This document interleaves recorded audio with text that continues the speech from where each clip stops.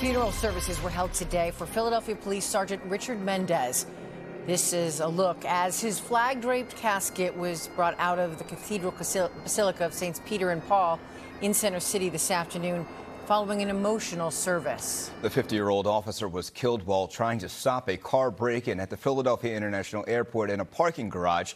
He served as a Philadelphia police officer for 22 years. He leaves behind a wife, a daughter, his mother, and many more family members. NBC 10's Karen Hua joins us now from the Basilica of Saints Peter and Paul, where the service and procession ended just a few hours ago. Karen.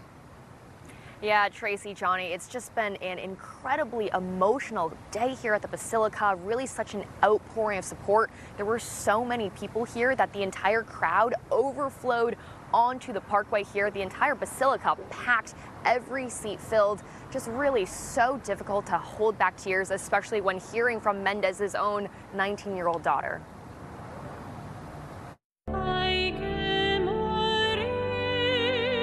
On Thursday, October 12th, my daddy was murdered in the line of duty. That very night, I asked him, Can't you call out sick? I want you to stay home with us tonight. At 19, Mia Mendez remembers what she calls the worst night of her life. A senior at Temple University, she knows her dad won't be at her graduation in just a few months. I hope you find comfort in knowing that your law enforcement family, both in this city and across this country, are here for you not just today, but will be here for you for decades to come. Acting Police Commissioner John Stanford posthumously promoting Officer Mendez to Sergeant Mendez, also giving him the Medal of Honor and a Purple Heart. Richie was the fixer. He was the fixer for everybody that he encountered, anyone that he, he came across. Mendez's colleagues describing him as a computer whiz, and his family sharing personal stories, like how he married his high school sweetheart.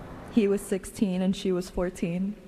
My dad used to say it was love at first sight. Born in Puerto Rico, Mendez didn't have a lot of educational opportunities when he was young, so he earned degrees up to his master's while working full time. When he retired, he wanted to go back to school, but this time to teach. I cannot think of a better and more qualified teacher than him. And now there are two sergeants in heaven Richie's father and Richie watching over this family for forevermore.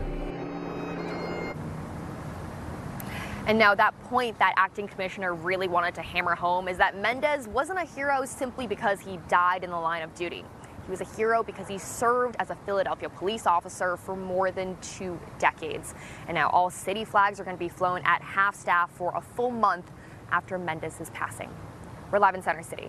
Karen Hua, NBC 10 News. An emotional day for the city of Philadelphia. Karen, thank you.